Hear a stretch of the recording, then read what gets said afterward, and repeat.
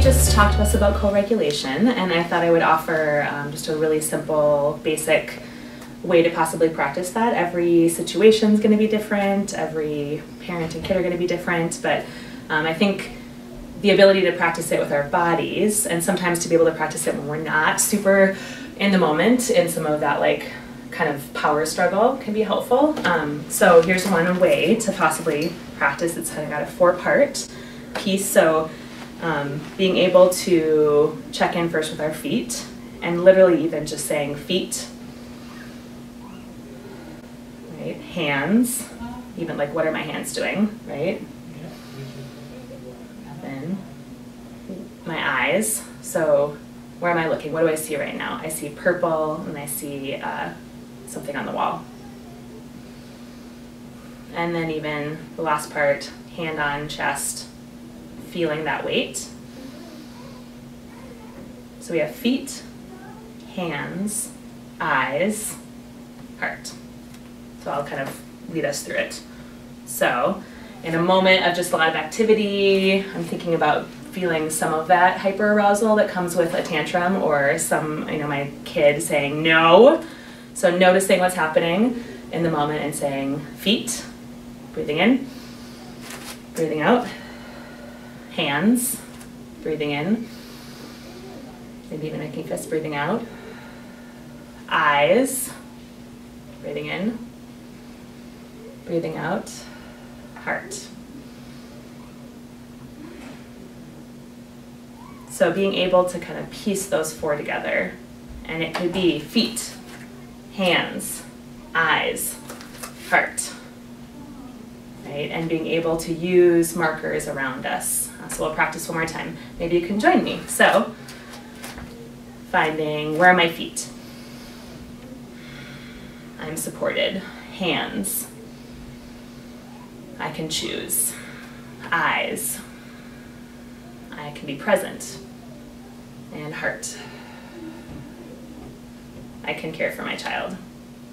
So maybe finding that practice and that phrasing with breath, and maybe there's ways that you can bring in your own kind of affirmations, but it might just be about feet, hands, eyes, and heart.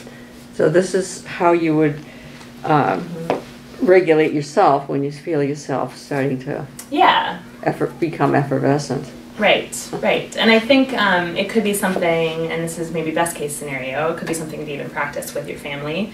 It could be something really fun just to do with your kids in moments of being really calm um, and kind of having that four part feet, hands, eyes, heart as something that the family just knows about. Um, I think when conflict starts to get that into that like heightened kind of land, that's a lot harder to access these things. So I think practicing farther down, and it could be that you're in the moment and there's a refusal to do homework or refusal to come out, and you might just literally have a moment to say, okay, what are my feet doing? I feel the ground underneath me, and then you got to keep going. So maybe even using one of those parts, and it could be um, if there's a part of your body you can connect with quicker and more, it's more accessible, go with that. Um, so maybe it's just that ground, I'm supported, feet. Um, but practicing it in moments of calm and less arousal can kind of help us to be ready for the really heightened times where even if, as I take a big inhale, thinking about being in conflict, my body, my body is a lot more tense, and I'm definitely not um, in my feet. So um, starting there, even, yeah. Okay, and, and this is what you meant by the check-in when we talked the last Yeah, time. Yeah, this is self-check-in. Yeah. It's simple, but it can be hard. I think breath is always, I think, the first place to start too. Mhm. Um, but I think if we can kind of breathe in connection with something in our body, it kind of Mhm. helps us to be actually right here, right now. Um, Right. But just Yeah. even like pause before I say the next thing, before I like do the next thing, before I react, just inhale and exhale, and then inviting that pause and seeing kind of what it can provide you as a resource. In my experience, the thrill of dysregulation is so powerful Sure. That they often don't want to do that. Yeah. Well, it's really. Have you found that too with Absolutely, yeah. There's a thrill to being dysregulated. Mhm. Well, and it's what's familiar too, right? That's Yes. the familiar pattern, and it's Yes. more known, and it's um, more kind of, in a way, comfortable. Like it's It the is. thing that you your body knows how to do, and our bodies, like our minds, like all of life, is really patterned, right? The dysregulation pattern is really strong, and I think making a shift towards something else is really can be very uncomfortable, And you have to have a darn good reason. right? And I think that what I've observed, again, in these, is their uh, executive function goes out the window. right.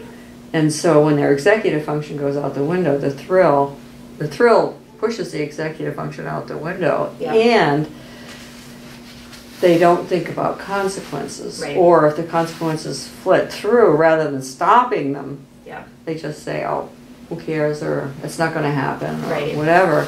And then later on, Mhm. they may experience regret, remorse, what did I do? Right. And besides that, they damage a relationship with somebody who's important to them. Yeah, absolutely. We have to Yes, practice. We have you to have to practice, practice. kind of. Um, Well, train your brain, train your Yep. body. Yep, absolutely. Practice new patterns. That's and so. I think that that's maybe an important thing to put in is this takes practice and it's Right. not just something we should know how to do No, if not. we haven't been able to practice it or have it modeled to us. No. So I think being able to just remind yourself like I'm practicing something, I'm investing in some change, um, and taking care Right. of myself and my family, and it's gonna take time. So even, you know, I like to tell people like even, you know, on the bus, walking down the street, waiting in lines, we all have to wait in really long lines. And that can get really those can be moments of as kind of normal novice dressers in line, you know, at the post office like what are my feet doing? I can feel my feet. As I connect with my feet, I take a breath in. So just getting in those patterns of checking in with some part of your body, connecting it with breath to invite a pause.